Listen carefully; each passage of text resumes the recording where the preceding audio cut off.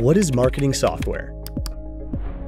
Marketing software is designed to help companies identify and attract prospects to connect with using strategic materials, automated repetitive tasks for a streamlined workflow, and customer insight analysis.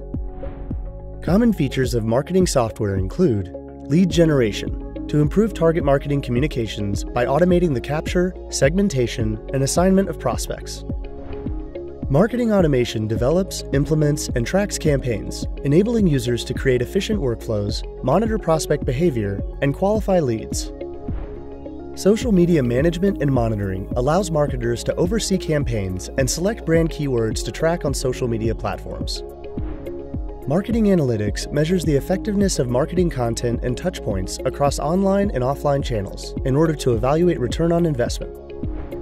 Our team of free advisors can give you a personalized shortlist of software options that fit your needs.